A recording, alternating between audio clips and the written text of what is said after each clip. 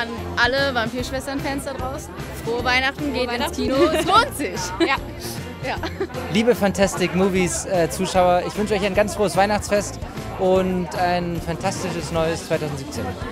Also frohe Weihnachten an die Fantastic Movies Zuschauer und wenn ihr nicht wisst, wohin mit eurer Energie, denkt doch an die Menschen, die in Standing Rock ähm, gerade für das Land kämpfen und für das Wasser und an ja, all die Menschen auf der Welt, die leider in Kriegen leiden und schickt auch ein paar positive Energien und Wärme dorthin und wenn es geht, vielleicht auch Hilfsmittel oder ja.